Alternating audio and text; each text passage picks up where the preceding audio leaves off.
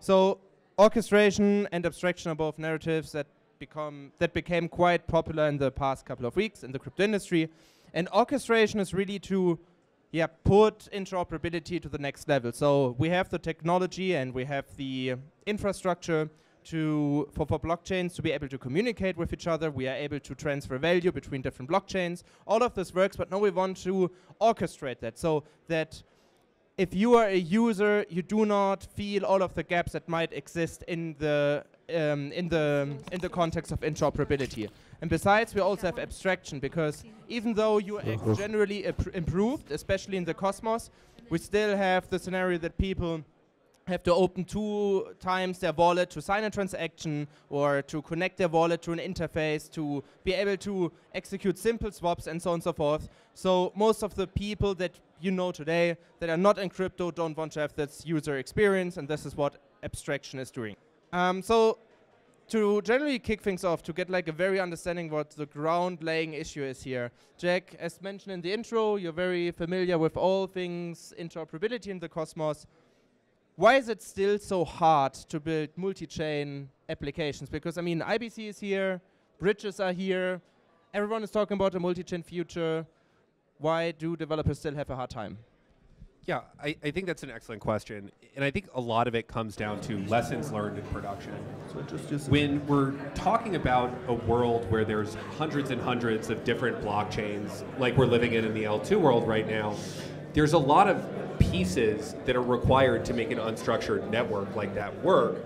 And I think what we're seeing right now is app developers finally starting to explore the problem space of really building multi-chain applications and that requires an entire new set of developer tools and user experiences that I, I, think are really just finally coming to fruition in Cosmos.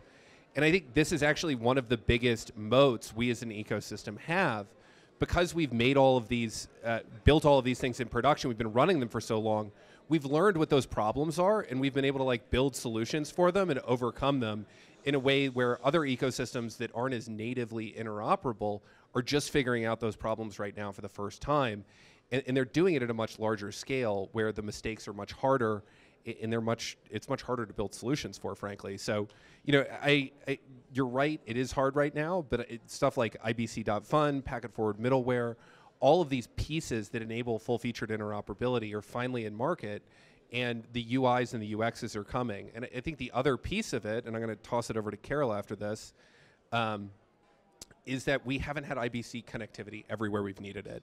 And with things like union now IBC connectivity to the full spectrum of all the blockchains out there is right on the horizon. And with the launch of more things in Cosmos, you can go more places via IBC. And those have been really the missing pieces in my mind. Yeah, I largely agree with you there. Um, a, I think the Cosmos is not limited to just the Cosmos SDK. The definition is going to be everything that's IBC enabled, IBC connected. Really, what we need to understand is the game is, or the fight is, uh, synchronous composability against asynchronous. Can we actually beat the UX that's available on Solana or Ethereum with contracts that live on the same state machine versus applications that live across different state machines? To actually uh, allow that, A, we need orchestration. We need to be able to connect all of them properly and write apps that basically allow us to make app chains money Legos.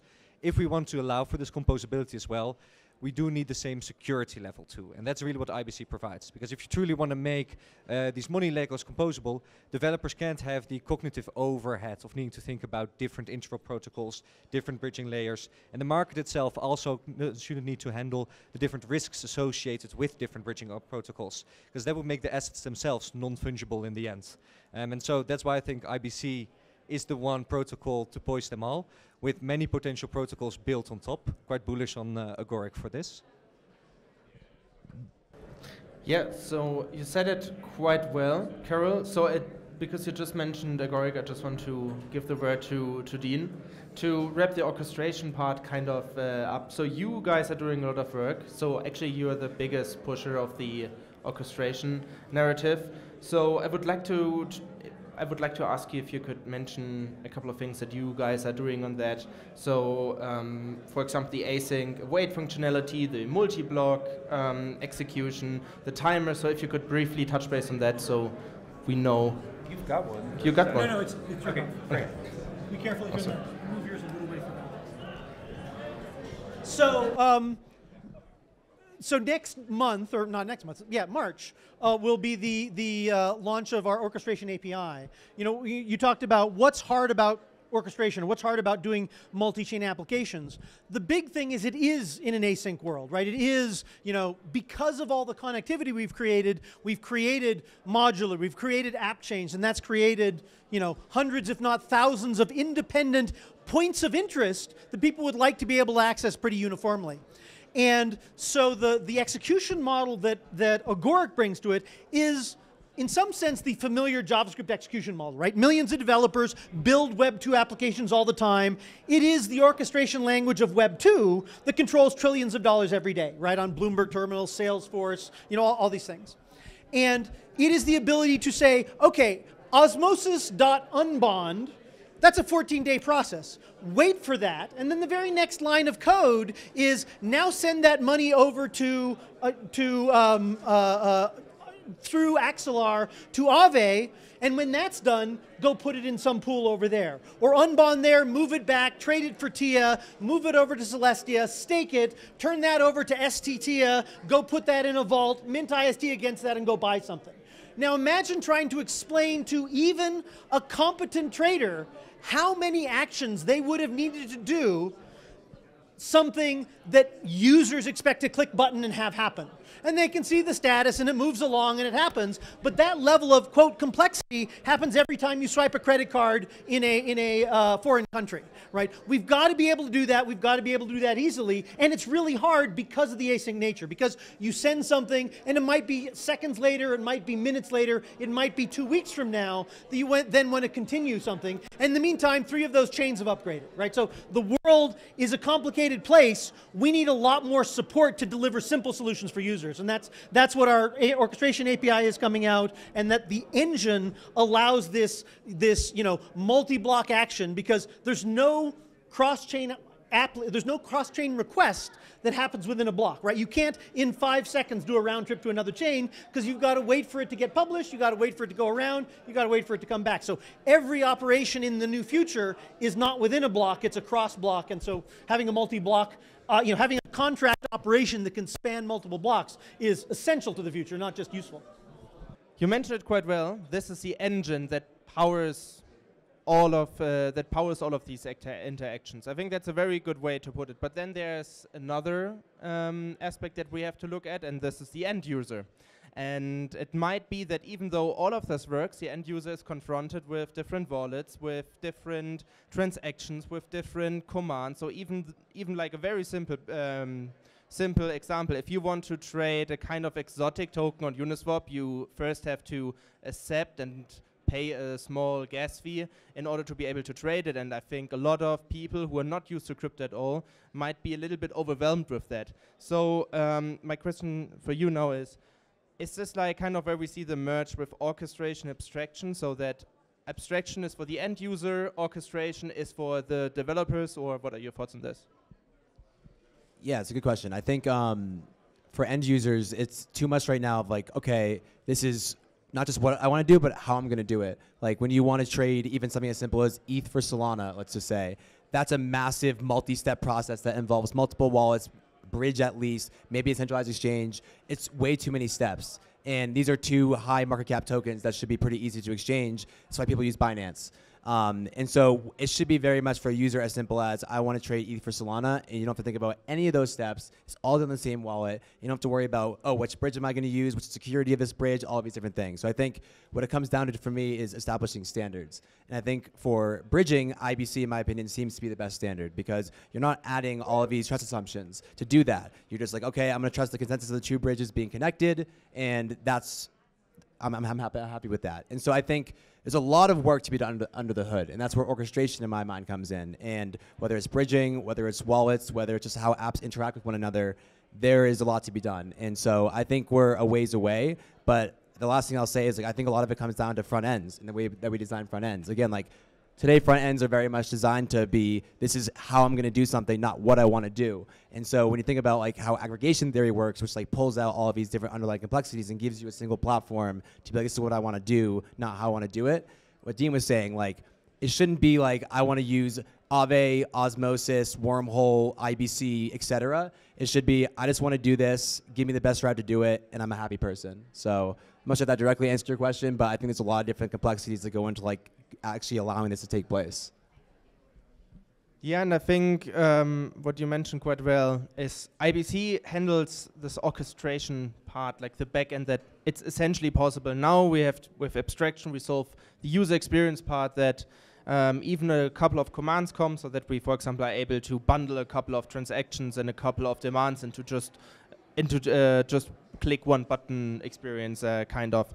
But uh, Jack, I mean, we have IBC, we have different rollers, we have sequencers, we have a lot of uh, different bridging technologies. So what is missing for the future that uh, Dougie just uh, described? What is what is the missing puzzle piece that we are looking for? And maybe you can all add some uh, something to that. Is there like a piece of technology, piece of infrastructure that we are still missing?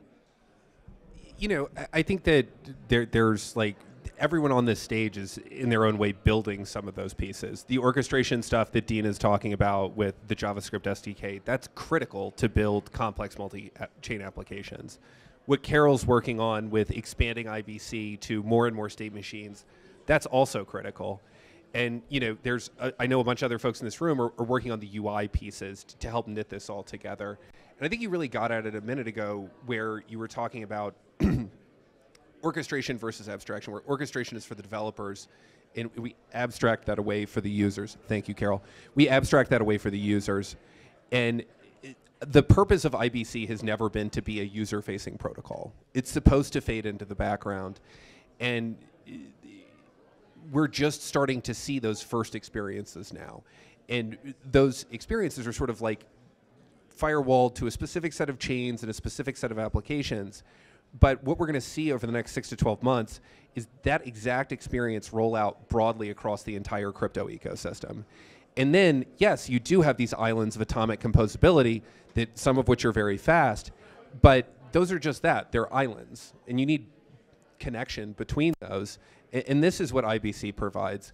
In the layers that sit on top of the chains, the applications that own that end user experience, that's where a lot of the value is going to end up accruing and the infrastructure itself is just going to facilitate those applications. And the infrastructure that does the best job facilitating applications is what's going to win. And I, I, think that what we've built here in IBC is, it's got all the pieces. Yeah, I think from like the backend part, I think we can all agree on because I don't think that there's any bridging technology that is so neutral, especially um, like uh, IBC. All of the other bridging technologies have to do something with a token, with uh, with a multisig, with a company or whatever. And IBC just is works. It works with uh, light clients. It works with the proof of the other chain. So this is something uh, that is wonderful uh, to see. And I think this is the reason why it works so well because it is so uh, neutral. But now, um, maybe to get once again back to the abstraction part, question for you, Karel.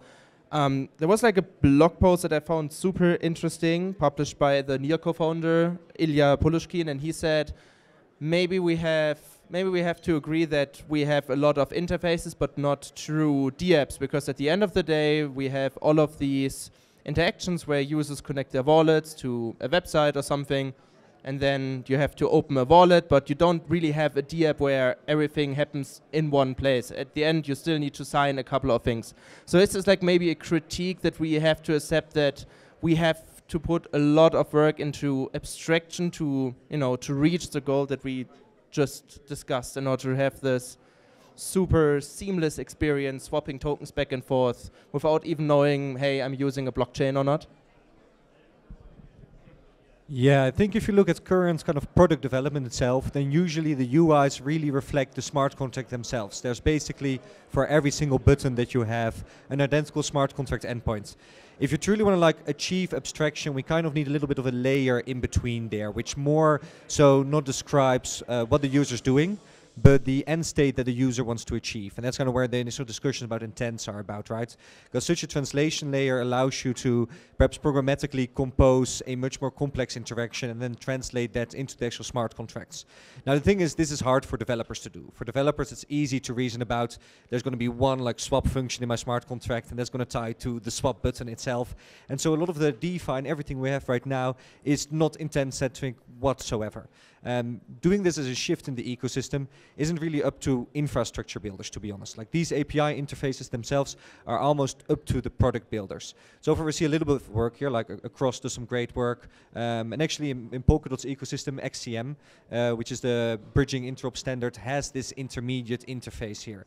Don't think there's that many projects yet working on this, but if you like from a UI perspective want to really achieve this future of this is what I want to achieve, this is kind of my end state, now compute how I'm going to get there, you're thinking about solvers, um, you're thinking about uh, chain abstraction. For this to, to work trustlessly, that's the most difficult step because really like saying what you want and then translating this into a set of transactions allows potentially for a solver to not translate it correctly and end up with gaining your tokens. Um, this is where I think ZKPs can actually uh, fill in a really great niche because ideally what you want to do is describe the end state, have a solver generate a ZKP that indeed by running these transactions this end state is achieved and then you can submit that on chain. Um, I think we're a bit far away from this future still though. Everything I see around here right now is a lot simpler.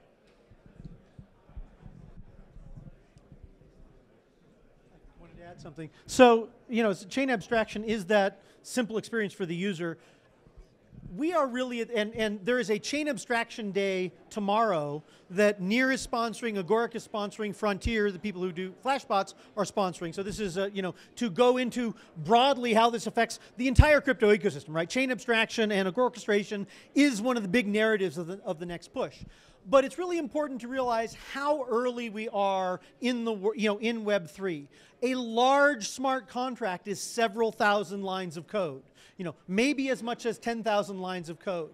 At microsoft i'm not sure i worked on any application that was less than 10 million lines of code right? Re applications that people use every day are three orders of magnitude larger than the largest program that people deploy on smart contracts. That's not an indictment of either side. That's just we, we are very, very early in the richness that we will be able to provide people with this blockchain technology, and we need the tools, we need the environment, and we need all the developers out there in order to, to, to be able to drive this forward. So, so in terms of, you know, chain abstraction is absolutely a vision, um, uh, but, but what it takes to build it is, the, is sort of the next, the next wave, and that'll get us the next wave of applications and smart contracts.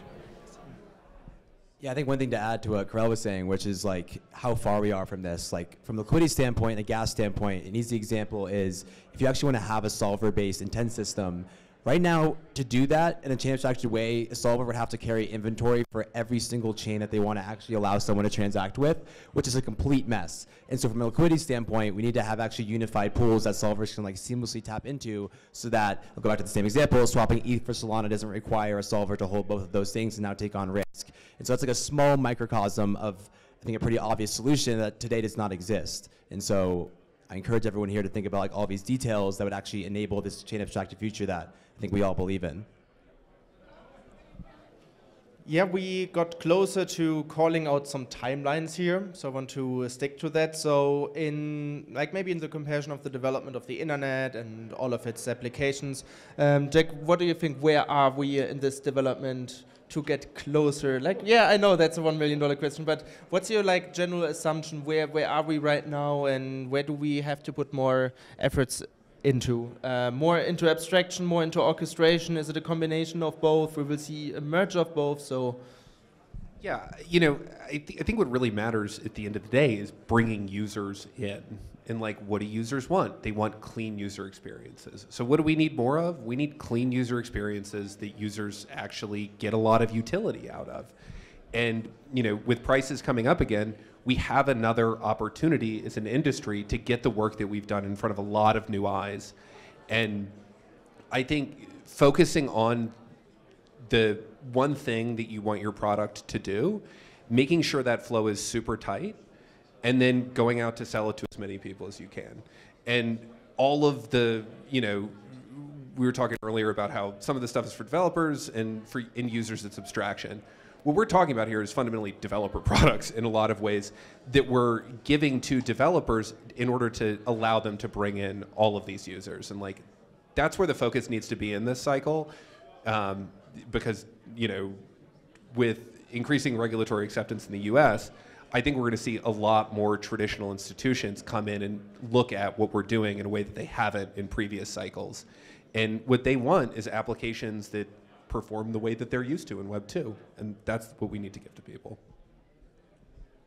Yeah, I think that's a clear mission for the next two years. Thank you, Jack. Uh, with that being said, uh, yeah, thank you. Um, sorry for the one or two inconveniences that we've had in the beginning, but I think uh, we wrapped it up as a perfect panel with a nice and promising outlook. Um, so yeah, thank you, Dougie. Thank you, Dean. Thank you, Jack. Thank you, Karel, for participating, and I will give it back to the MC. You,